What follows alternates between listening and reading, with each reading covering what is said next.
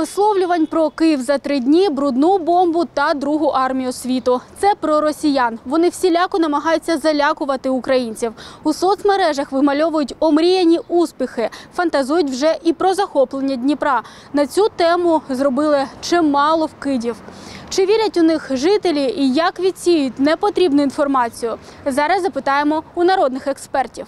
Я не дивлюсь нічого і нічого не слухаю. що ми сильні і незалежні. Вони це не зможуть зробити. Вони можуть казати все, що завгодно. Але ми знаємо, в що вірити, а в що не вірити. Я не довіряю, я тільки своїй дивлюсь, що в нас. Я намагаюся не дивитись, наприклад, якісь такі непровірені, е, будемо казати так, е, паблики чи ще щось. Я взагалі дивлюсь тільки наші новини. Хіба їм можна вірити? І той же сам факт. Путин пришел спасать русскоязычных людей. Я русскоязычная, меня здесь никто никогда словом не обидел, и сейчас никто не обижает за русский язык. Кого он пришел? Меня спасать. Ми не довіряємо зовсім росіянам, і нам не потрібно перевіряти щось.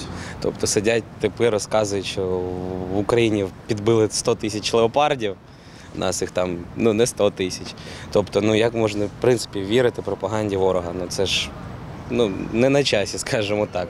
Це треба сопоставляти, знати історію цього питання, а потім робити висновки.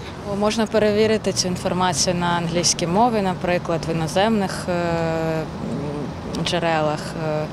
Ну і також довіряти офіційним У мене освіта політолога, тому я взагалі не переварюю російську дезінформацію.